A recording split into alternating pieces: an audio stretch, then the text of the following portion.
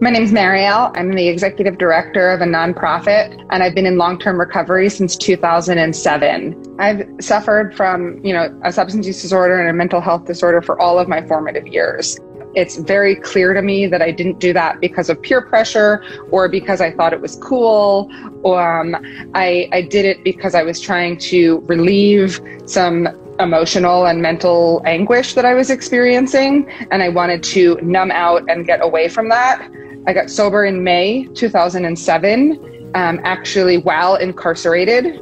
For years, not only has addiction been stigmatized, but we've painted a picture of it as addiction as a choice or a moral failing that needs to be criminalized. Shame oftentimes precludes people from asking for help.